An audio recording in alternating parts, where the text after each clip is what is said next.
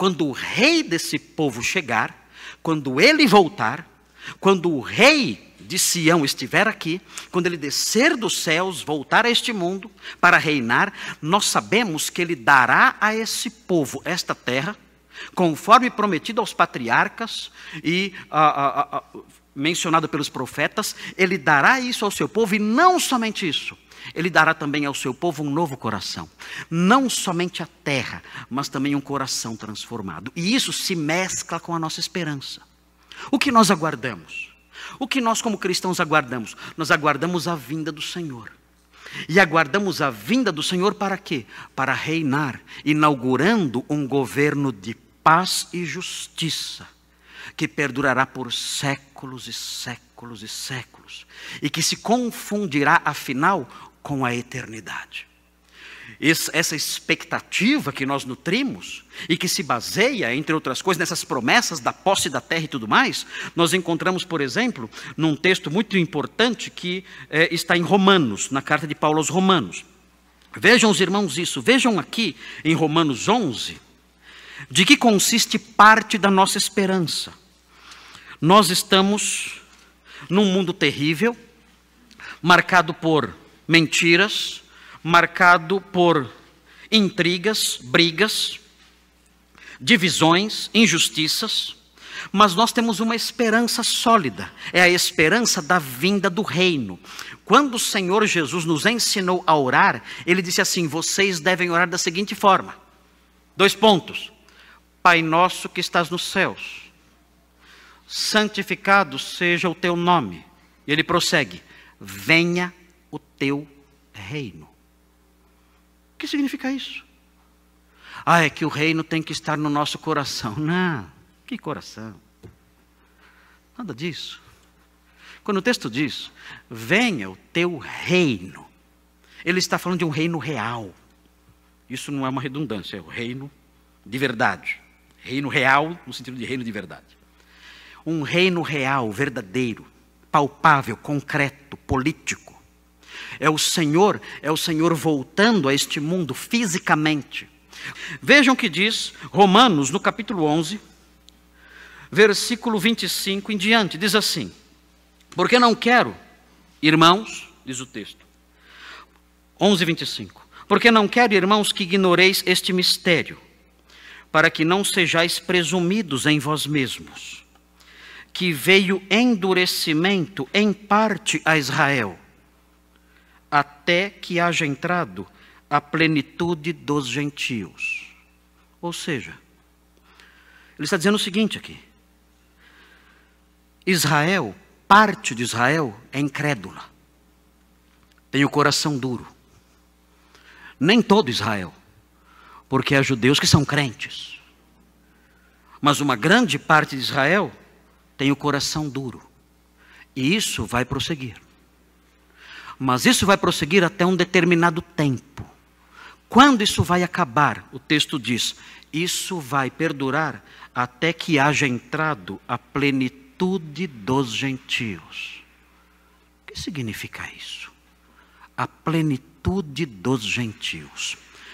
Tudo indica, ao que parece, a expressão plenitude dos gentios significa até o tempo em que o domínio dos gentios tiver concluído, estiver concluído, tiver chegado ao fim.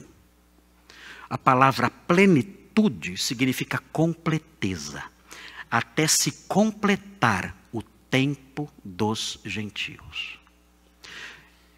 Israel terá o coração endurecido, parte de Israel terá o coração endurecido, até o dia em que o governo, a presença dos gentios em Israel chegar ao fim. Quando o tempo dos gentios se completar. E o que vai acontecer, de acordo com Paulo, quando o tempo dos gentios se completar? Quando o tempo dos gentios se completar, os gentios não dominarão mais a terra ali junto com os judeus. O que vai acontecer é que somente os judeus dominarão a terra. Como? Como sabemos disso? O texto prossegue. O texto diz: quando o tempo dos gentios se completar, Quando a era dos gentios se completar, vejam o que diz o versículo 26. E assim, todo Israel será salvo. Não somente parte dos judeus será crente, mas todo Israel será salvo. Todos crerão no Messias. Ah, esse endurecimento, em parte, vai acabar. Todo Israel será salvo quando o tempo de governo, de presença dos gentios se completar. Jesus disse isso. Jesus disse: Jerusalém, Jerusalém, que matas os profetas e apedrejas os que te são enviados.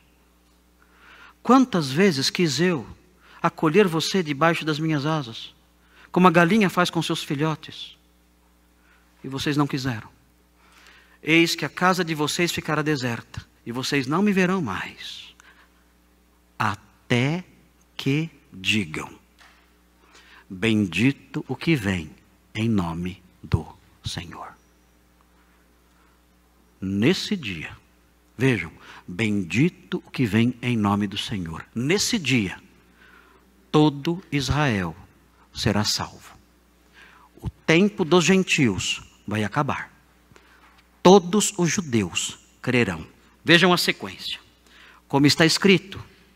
E alguém pode perguntar, mas como é que o Senhor sabe que isso vai acontecer quando Cristo voltar? Vejam o versículo 26 na sequência.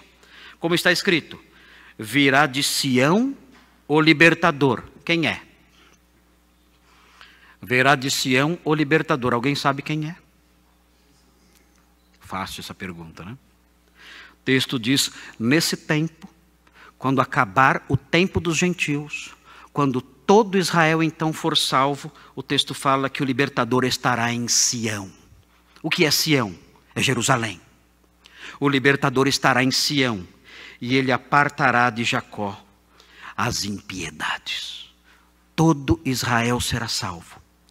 E eles então, tendo terminado o tempo dos gentios, eles finalmente habitarão na terra prometida aos seus antepassados. O texto diz no 27: Esta é a minha aliança com eles, quando eu tirar os seus pecados. Nesse tempo, então, a terra será dada finalmente a eles e todo Israel será salvo. Notem, tudo isso, queridos, se confunde com a nossa esperança. Nós aguardamos esse dia. O nosso papel é mostrar aos irmãos, a partir da palavra de Deus, que existe sim, que existirá sim uma redenção política um dia.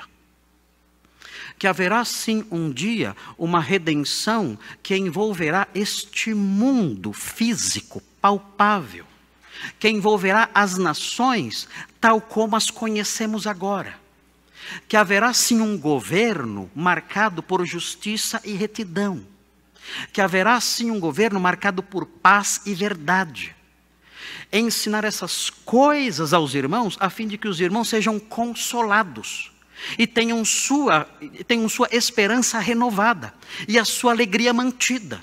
O que nós cremos a partir do estudo do capítulo 29 é que Deus está fazendo com que nós, a partir da, da repetição dessas, dessas promessas e a partir do cumprimento lento dessas promessas, Deus está mostrando: eu um dia darei esta terra a um povo eu um dia darei Canaã a um povo. E notem, isso não é uma promessa isolada, isso afeta todos nós cristãos. Por quê? Porque nesse dia eu inaugurarei um reino de justiça, do qual participarão todos aqueles que um dia foram abençoados pela salvação, pela fé no meu filho. Nós estaremos nesse reino.